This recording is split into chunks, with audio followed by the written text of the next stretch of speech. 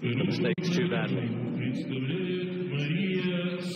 So here's another teenager from Russia, yet another, the replacement for Sotnikova.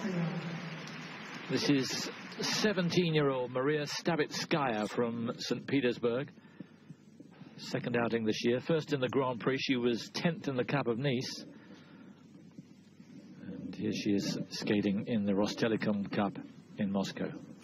Slave of Love, the music for Stavitskaya of Russia.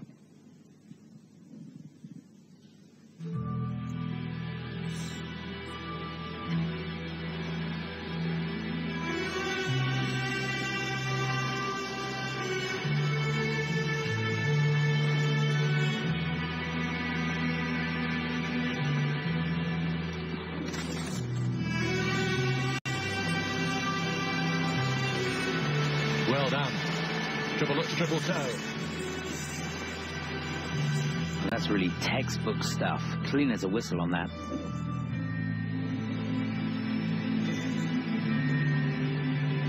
Now she lines up for the loop. Just hold on. I don't know if the free hand came down there. Touched the ice. It may have. Yeah, it looked like a touchdown with the right hand and a long preparation into that triple loop.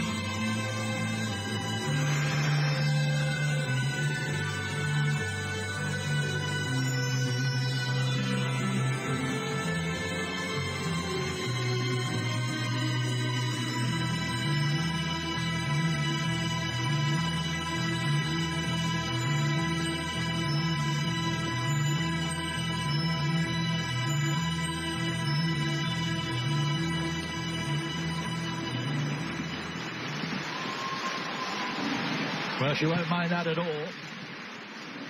Her first taste of the big time here in Moscow, and uh, she acquitted herself well. Technically, she looked good. The routine left me a, a little flat, I have to say, but uh, there was much to commend it there. Maria Stavitskaya for Russia. Yeah, I think when you're given an opportunity like this, you've got to grab it with both hands, haven't you? And I think she did just that. You're dead right, Simon, with the program. It was uh, empty in places, not a lot of transitions in the program, which is going to hurt her. And one of the things that will hurt her, although she did a, a good effort on the triple loop, although the hand went down, that element should be immediately preceded by connecting steps or other free skating movements. And really, she just did a long setup into it. So um, that will be reflected in a grade of execution on that element. And of course, we uh, hope to get a look at it again to see whether it was fully rotated. But what a super start this was with the combination. Triple, triple toe, clean as a whistle. A little bit of uh, possible edge deduction on the way into that. She didn't look to be quite on the outside edge.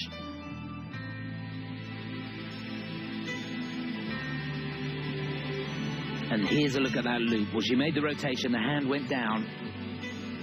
She's on that back outside edge on the way into it. But she, there really was a long preparation, even into this, which is a comparatively easy jump for her, the double axel, two and a half turns in the air. There was a long setup for that, and at this level, you're looking for a little bit of uh, a little bit of creativity. And just looking at that combination again, just before this flying sit, indeed it was off an inside edge. So the uh, judges have to go with minus twos on the grade of ex execution on that. So she's going to lose a little bit here and there.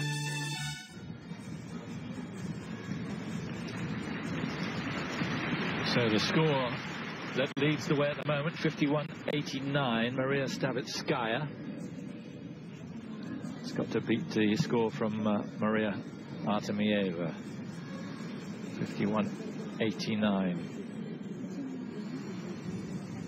And if she does it, still will be uh, short of her best. She got uh, in a junior tournament a couple of years ago, 57.07. See if she can beat that. Not quite, but she's uh, done enough to move ahead of Artemieva.